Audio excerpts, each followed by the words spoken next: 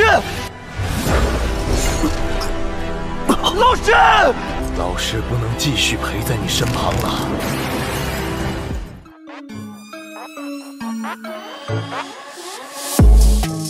Halo para pecinta Battle Through the Heavens dimanapun kalian berada Udah siap kancut dong dengan perjalanan dari Mang Oyan? Terima kasih untuk kalian yang selalu stay di sini dan udah selalu meramaikan kolom komentar Kuilah kita kancutkan perjalanan Mang Oyan dan selamat berimajinasi.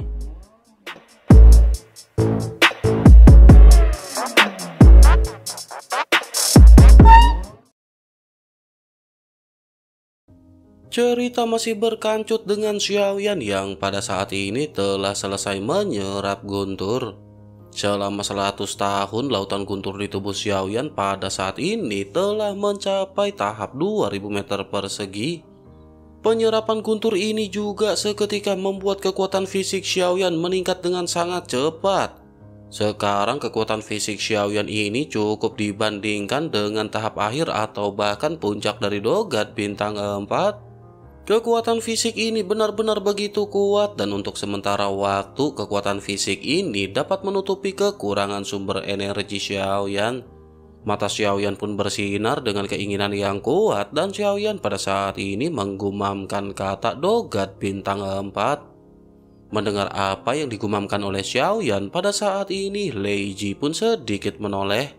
Sementara itu, Xiaoyan lanjut berkata bahwa untuk menjadi dogat bintang 4, origin Ki yang dibutuhkan sangatlah besar. Selain itu, seiring dengan meningkatnya kekuatan, hal tersebut benar-benar menjadi semakin sulit. Origin ki yang dibutuhkan untuk penerobosan juga menjadi semakin besar. Hal ini benar-benar sangat memusingkan di tengah-tengah tempat yang krisis origin ki. Leiji pada akhirnya membuka mulutnya untuk berbicara mendengar gumaman dari Xiaoyan. Leiji berkata bahwa Xiaoyan benar-benar harus memikirkannya. Apakah Xiaoyan yakin ingin menjadi seorang dogat bintang 4? Jika begitu permasalahannya, bukankah Xiaoyan juga tahu bahwa tidak ada origin Ki yang cukup untuk pelatihan di sini? Xiaoyan pun menghela nafas mendengar apa yang baru saja dikatakan oleh Lei Ji. Sementara itu, Lei Ji pada saat ini kembali menjelaskan bahwa ada banyak planet di langit berbintang ini. Setiap planet di sini kurang lebih memang memiliki origin Ki. Namun jika Xiaoyan ingin dipromosikan menjadi dogat bintang 4 maka Xiaoyan perlu menemukan banyak planet dengan origin Ki yang cukup. Xiaoyan pun merenung sejenak sebelum akhirnya Xiaoyan pada saat ini segera memandang ke arah Lei Ji. Dengan sedikit senyum masam Xiaoyan segera berkata apakah di tempat hukuman dewa ini hampir tidak mungkin bagi Xiaoyan untuk menerobos menjadi dogat bintang 4. Mendengar pertanyaan dari Xiaoyan ini, Lei Ji pun menggelengkan kelapanya dan berkata bahwa kemungkinannya masih belum bisa dipastikan. Ia pada saat ini tidak bisa menjawab karena dunia ini benar-benar sangat kosong. Sumber daya di tempat ini benar-benar sangat langka dan kecuali jika Xiaoyan merampok, mustahil alam akan menciptakan origin Ki untuk diserap. Oleh karena itu, jika Xiaoyan ingin menerobos dan maju, maka jawabannya sangat sederhana. Xiaoyan hanya perlu membunuh dan merampok harta berharga dari orang yang Xiaoyan temui. Selain itu, bukankah Xiaoyan juga bisa merasakannya bahwa setelah Xiaoyan mencapai ke tingkat dogat, sumber daya di dalam tubuh benar-benar telah berubah. Selain itu, kekuatan dari sumber energi yang perlu diserap juga benar-benar sangat tipis tetapi juga penting. Namun jika berbicara tentang hal ini, ia ingin memberitahu Xiaoyan mengenai sesuatu. Jika Xiaoyan memiliki kesempatan untuk bisa pergi ke suatu tempat, Xiaoyan seharusnya akan bisa memahaminya. Xiaoyan pasti akan tahu mengapa dewa jahat dan yang mulia bisa menjadi makhluk yang begitu kuat. Baik dewa jahat maupun yang mulia ini berasal dari kampung halaman yang sama, yakni galaksi yang sangat besar. Jika masih ada dan tidak dihancurkan, maka Xiaoyan akan dapat menemukan sebuah planet berwarna biru muda. Mendengar perkataan Lei Ji ini, Xiaoyan sangat penasaran dengan kekuatan apa yang pada saat itu dimiliki oleh Yang Mulia dan Dewa Jahat. Xiaoyan pada akhirnya segera bertanya kepada Leiji kekuatan apa yang telah dicapai oleh Dewa Jahat dan Yang Mulia. Leiji pun segera menjelaskan bahwa di atas dari Dogat ada keabadian. Kekuatan keabadian ini juga dibagi menjadi dua tingkat keabadian. Yang pertama adalah keabadian kaisar, sementara yang kedua adalah keabadian dewa. Baik yang mulia dan dewa jahat sudah melampaui dua kekuatan ini dan tidak ada nama spesifik untuk level tersebut. Namun ia pernah mendengar bahwa yang mulia mengatakan tidak ada batasan untuk kultivasi dari seseorang. Namun jika seseorang telah mencapai level yang belum pernah dimiliki oleh orang lain, maka level atau kekuatan tersebut sudah dianggap dengan kekuatan tertinggi. Mendengar apa yang baru saja diucapkan oleh Lei Ji Xiaoyan pada saat ini benar-benar terguncang. Dogat yang pada saat ini dialami oleh Xiaoyan benar-benar sudah dalam situasi yang sulit. Selain itu, yang terkuat yang pernah dilihat oleh Xiaoyan sejauh ini adalah dogat bintang 6.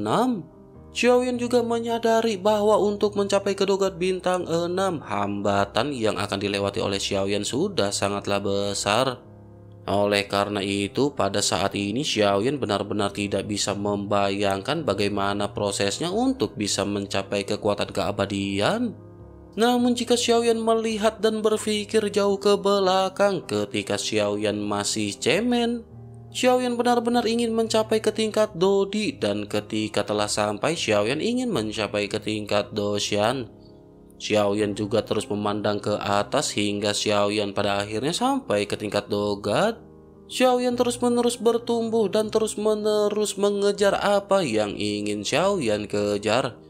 Semuanya benar-benar berhasil dicapai oleh Xiaoyan dengan kemampuan yang Xiaoyan miliki.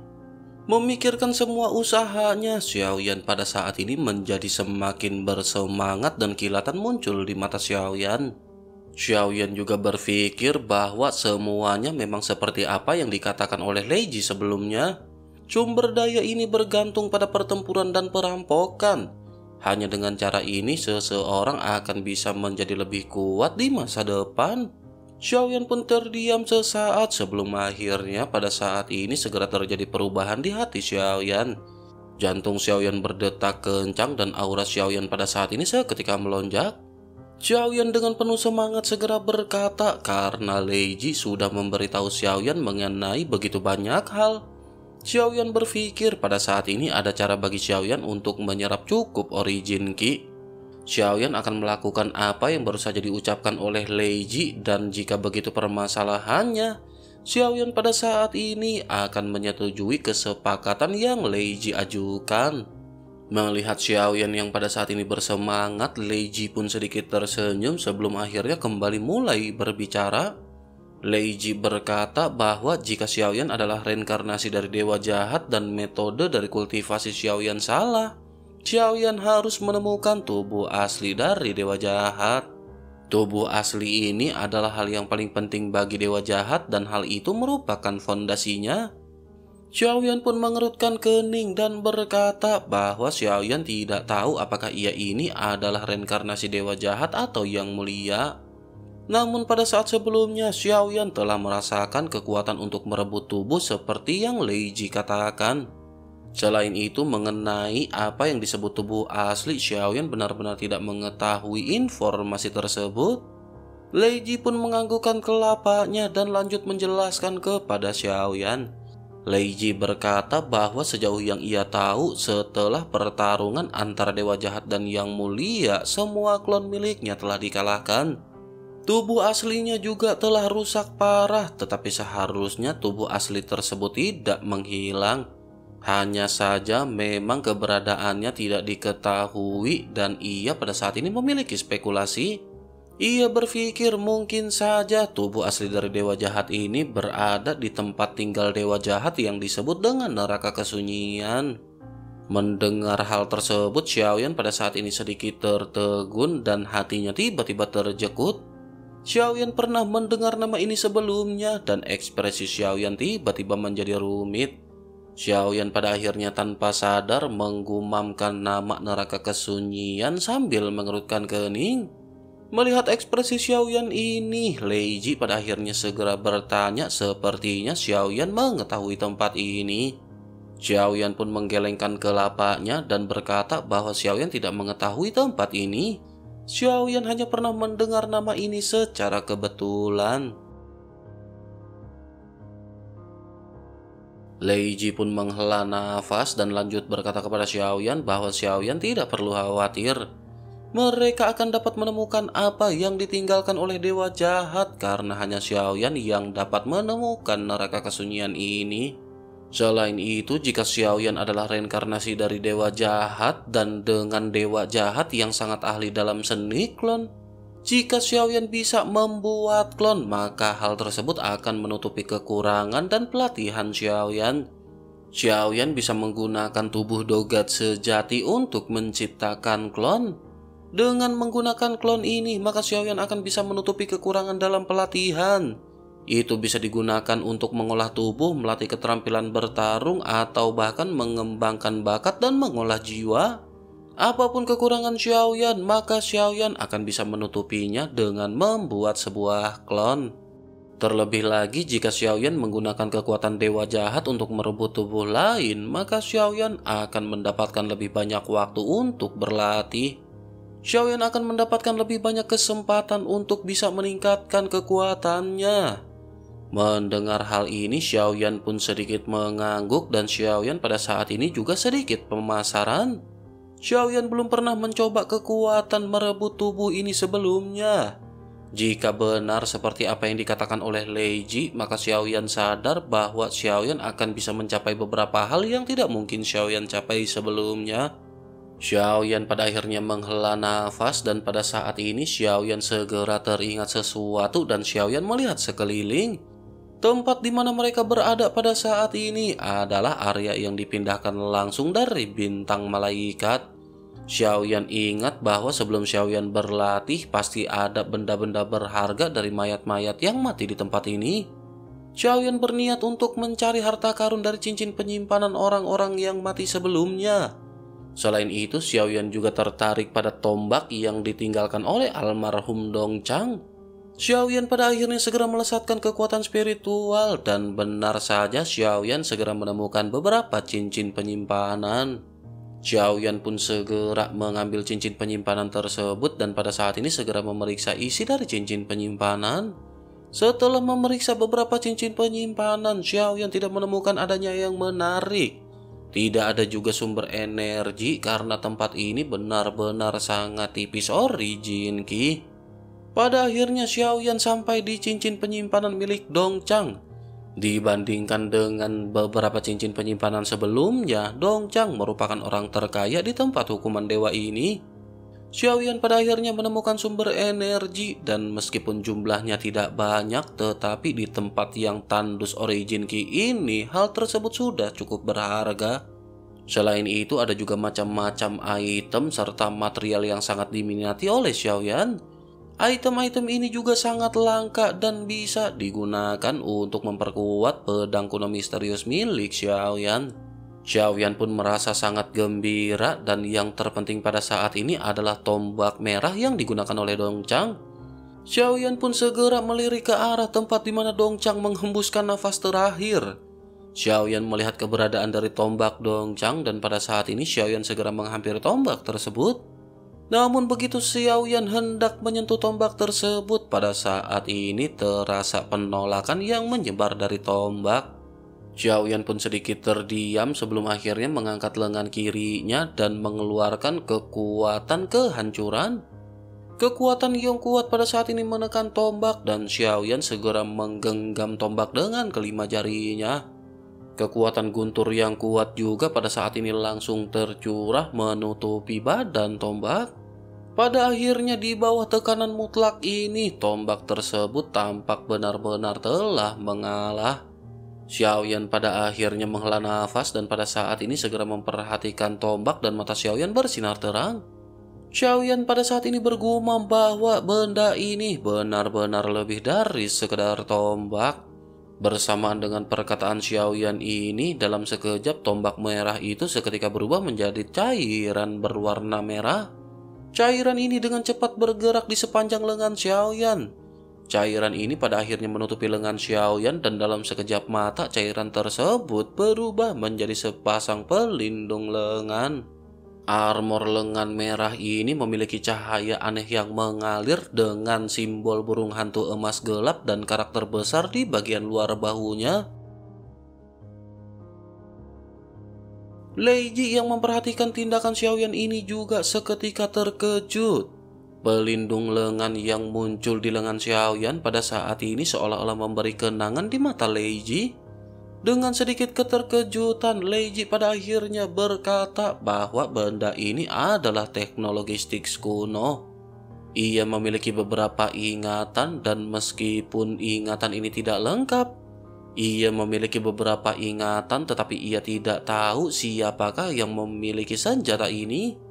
Namun yang ia ingat adalah benda ini cukup mengesankan jika saja Xiaoyan dapat menemukan bagian-bagian dari harta karun seperti ini, hal tersebut benar-benar akan sangat kuat. Mendengar hal tersebut, Xiaoyan pada saat ini tersenyum dan menghela nafas, sementara Leiji segera melihat sekeliling. Leiji pun segera berkata kepada Xiaoyan bahwa waktunya hampir habis.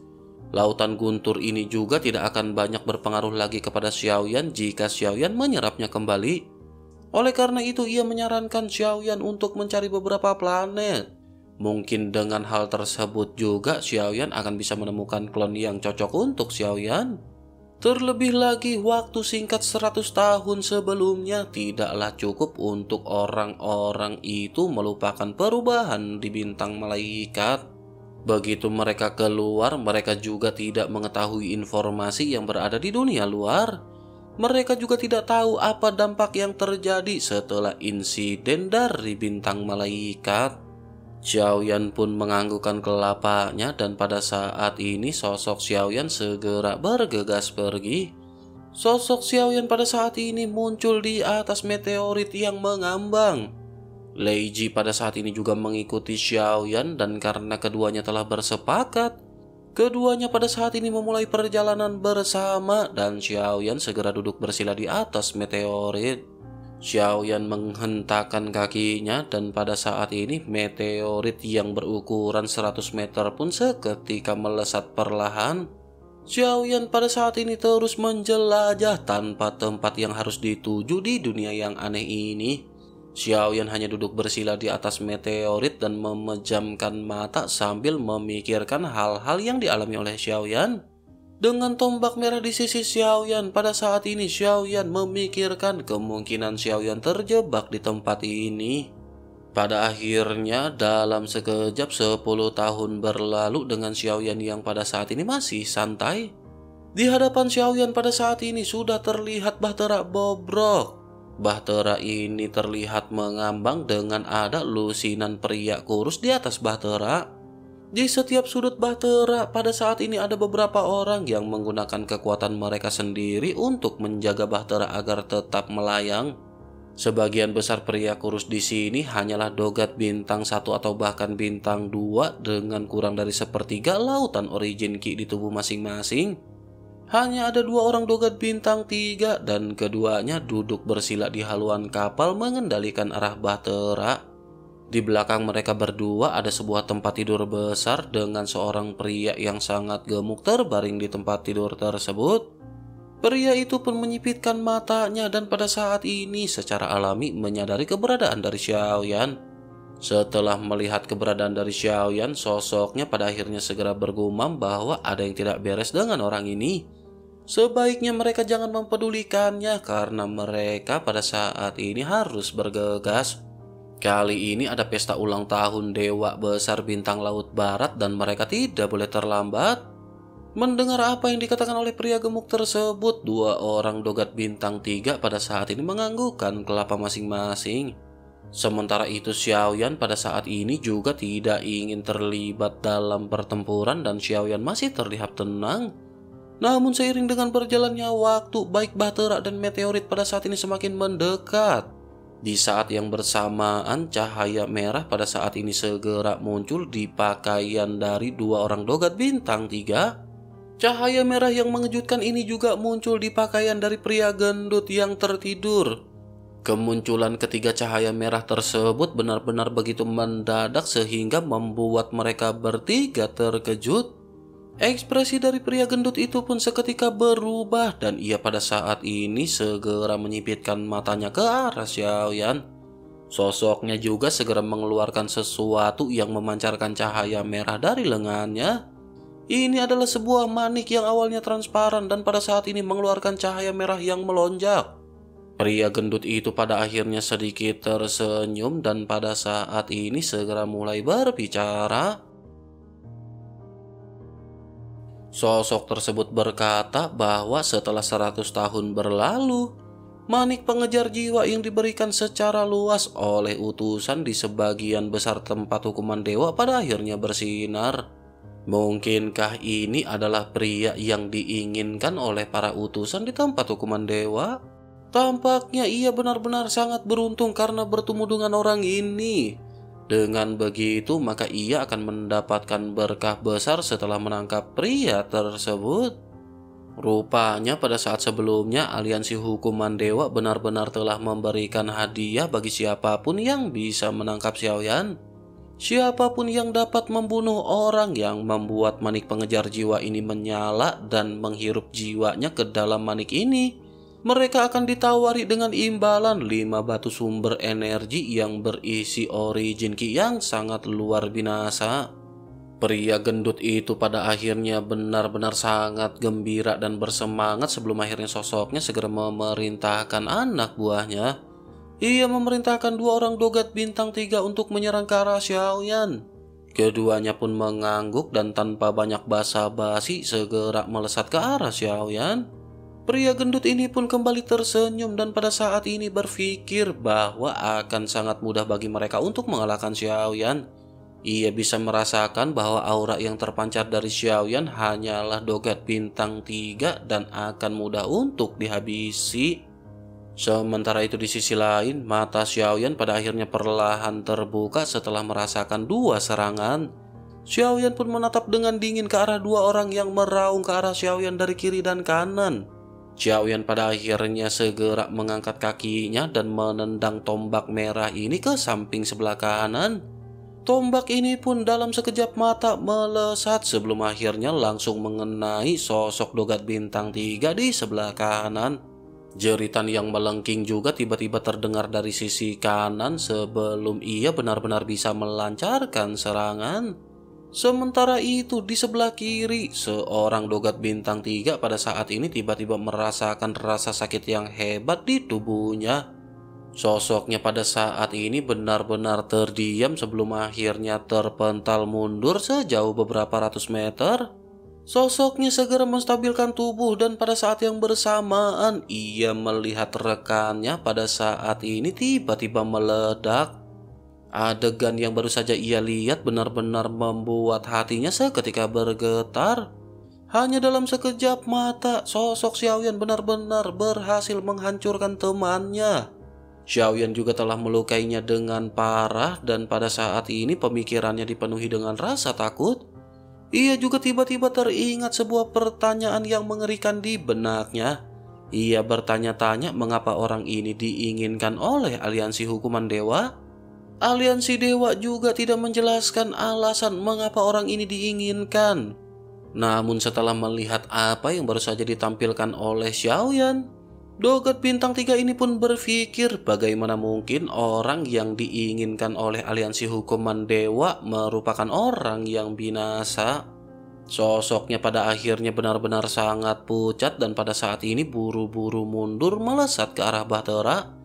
Namun baru saja ia melangkahkan kakinya, tiba-tiba sambaran petir segera muncul di atas kelapanya. Dogat bintang tiga ini pun segera mengangkat kelapanya dan pada saat yang bersamaan petir benar-benar menyambar tubuhnya. Dalam sekejap mata pada saat ini tubuh dari dogat bintang tiga ini pun seketika berubah menjadi busa berdaging dan menghilang.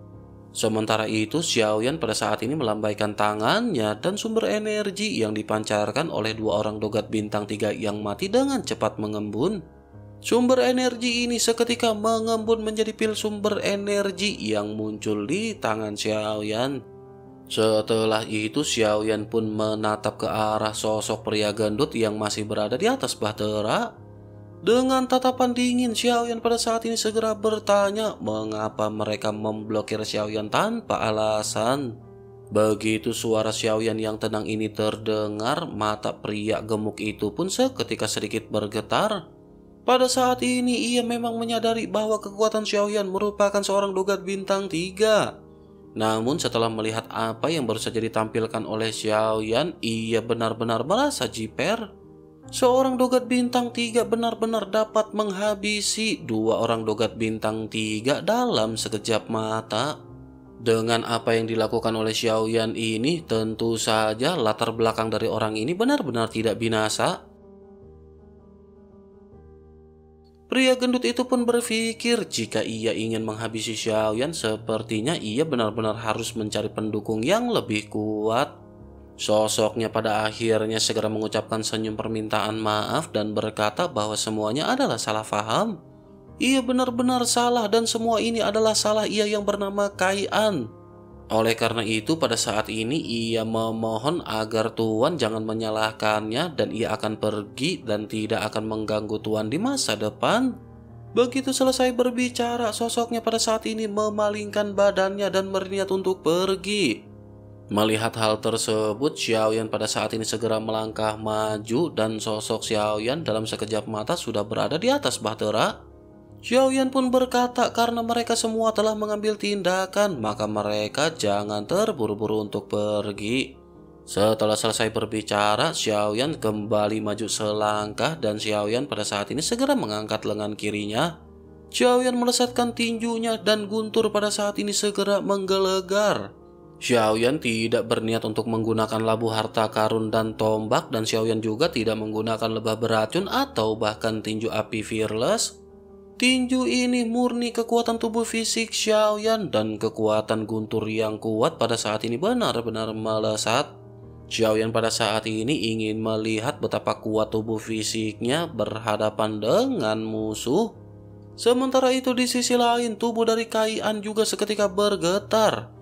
Sosok yang menunjukkan cahaya yang tajam di matanya ketika melihat Xiaoyan benar-benar berani mengambil tindakan.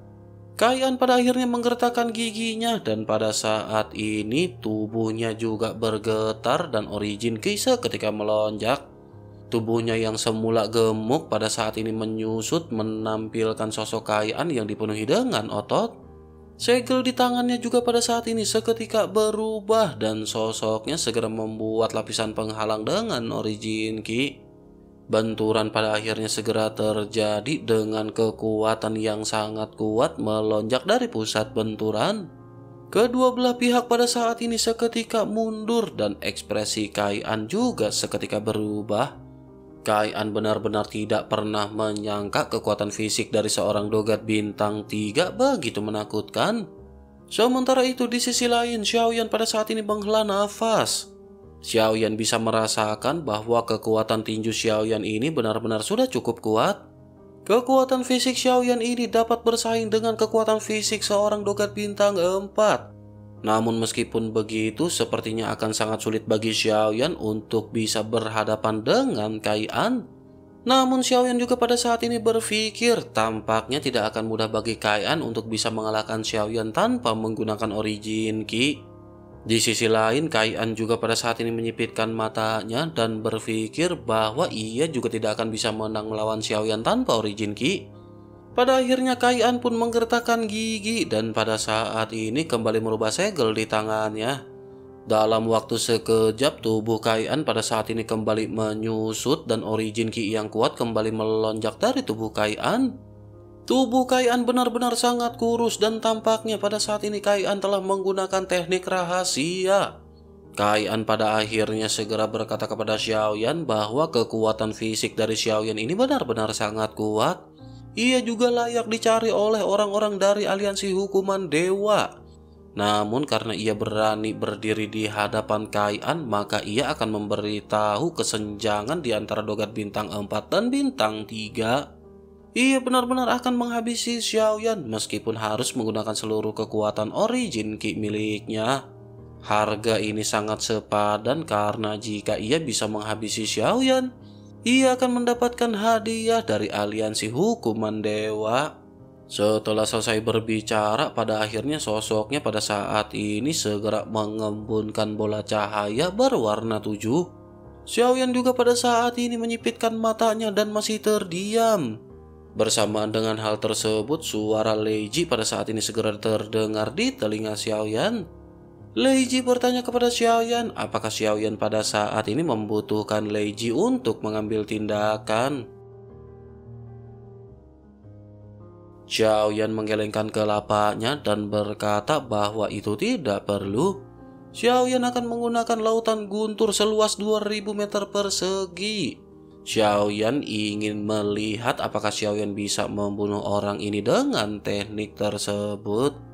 Setelah selesai berbicara, Xiaoyan pun segera mengangkat tangannya dan menunjuk satu jarinya.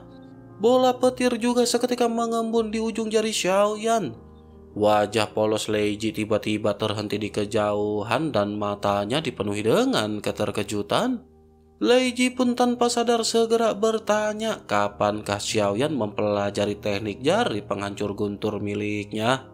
Sementara itu di pusat pertempuran pada saat ini Kaian menggertakkan giginya dan tanpa banyak basa-basi segera melesatkan serangan. Kekuatan guntur yang agung juga pada saat ini segera berubah menjadi seberkas cahaya yang dilesatkan oleh Xiaoyan dengan kecepatan yang tidak mungkin untuk dihindari. Kedua serangan pada saat ini benar-benar dilancarkan tetapi tidak ada benturan yang terjadi. Serangan Xiaoyan pada saat ini melesat lurus menghantam ke arah Kai'an. Kai'an pun melonjakkan semua origin ki di dalam tubuhnya untuk membentuk lapisan penghalang. Namun lapisan penghalang ini hanya bertahan satu tarikan nafas sebelum akhirnya perlahan-lahan hancur di hadapan matanya. Lesatan guntur ini juga seketika menembus ke tubuh Kaian dan tubuh Kaian pada saat ini dipenuhi dengan busur listrik. Sementara itu, di sisi lain, lesatan tujuh bola cahaya milik Kaian pada saat ini menyerang ke arah Xiaoyan dari beberapa arah. Xiaoyan juga secara alami tidak bisa mengelak dan Xiaoyan pada saat ini segera mengeluarkan pelindung pohon spiritual. Vitalitas yang agung juga tiba-tiba memenuhi tubuh Xiaoyan dan pada saat yang bersamaan benturan segera terjadi. Suara gemuruh yang tidak ada habisnya pada saat ini melonjak di langit berbintang dan mata Leiji sedikit terfokus pada pusat pertempuran. Matanya tertuju pada teknik jari penghancur guntur yang dilesatkan oleh Xiaoyan.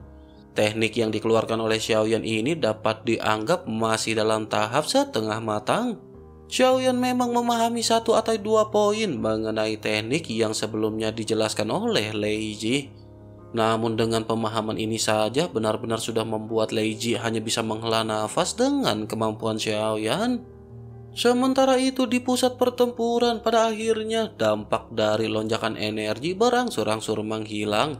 Melihat dari kejauhan, dua sosok pada saat ini masih saling berdiri dengan tubuh Kaian yang memancarkan busur listrik.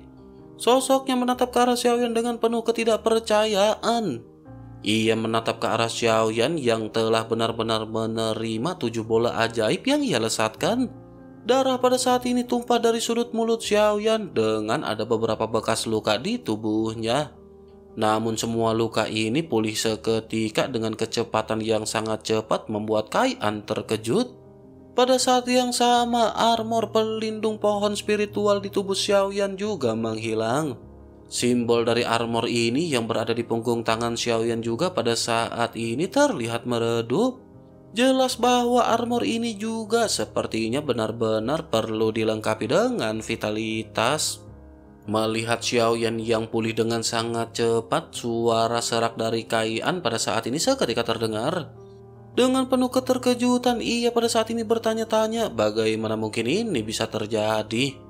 Sementara itu di sisi lain, Xiaoyan pada saat ini menghembuskan nafas perlahan sebelum akhirnya Xiaoyan menggumamkan kata hancurkan dan bersamaan dengan hal tersebut, Petir yang tak terhitung jumlahnya segera keluar dari tubuh Kaian dan tubuh Kaian mengembang dengan cepat.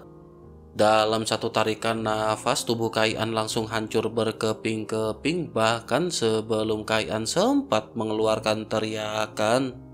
Pada saat yang bersamaan, Xiaoyan juga mengelurkan tangannya dan di antara pecahan daging, jejak udara putih mengalir ke tanda pelindung pohon spiritual di punggung tangan Xiaoyan.